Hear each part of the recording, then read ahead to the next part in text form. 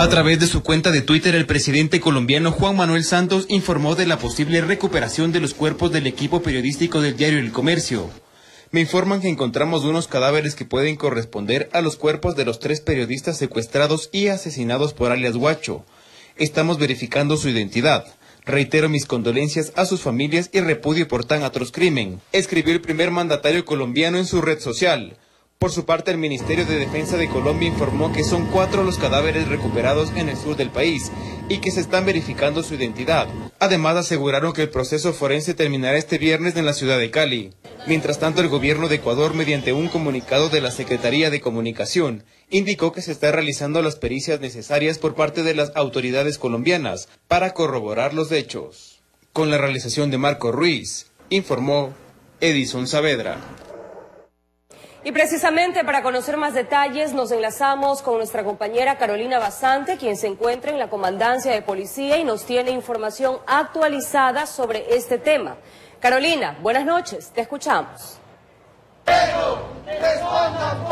Gracias, Ana y amigos televidentes, buenas noches. Hace pocos minutos, las autoridades confirmaron que el día de mañana una delegación del gobierno ecuatoriano junto con las familiares del equipo periodístico de Diario El Comercio viajarán hasta Colombia para colaborar en el peritaje forense. La Fiscalía de Colombia solicitó dos familiares de cada uno de los periodistas del equipo, del equipo de Diario El Comercio para cotejar con el ADN y así determinar si los cadáveres encontrados en la zona rural de Tumaco corresponden a nuestros compatriotas asesinados. Escuchemos las declaraciones de las autoridades.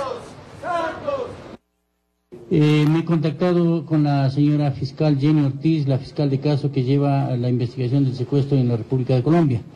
Ella se encuentra en la zona de Tumaco y me ha informado que en este momento se están extrayendo desde la zona donde fueron localizados los, los restos de, de los cadáveres, se están extrayendo hacia la población de Tumaco aspiran llegar a la población de Tumaco en horas de la madrugada.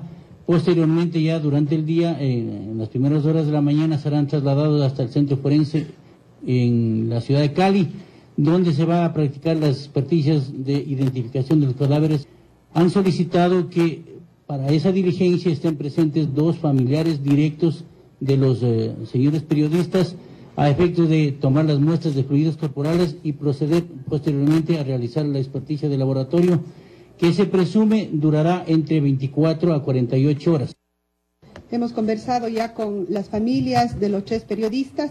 Estamos coordinando de manera logística para que el día de mañana una delegación del gobierno presidida estará esta, esta delegación por el señor secretario nacional de inteligencia y también acompañará un delegado del Ministerio de Justicia, acompañará el señor comandante eh, general de la Policía Nacional estará también acompañado por expertos en pericia eh, legista que van a acompañar y van a avalar todos aquellos eh, evaluaciones que se hagan allá en Colombia. Hemos coordinado y acabamos de tener una reunión con la familia para en ese sentido poder también pedir que la familia acompañe una vez que podamos eh, comprobarse de que efectivamente son los cuerpos de nuestros compañeros y hermanos ecuatorianos, obviamente se eh, tiene que programar todos los temas internacionales, todos los temas de repatriación, amparados en los marcos legales. Continuaremos dando todo el apoyo a las familias, porque este es un pedido, este es un clamor de todos los ecuatorianos,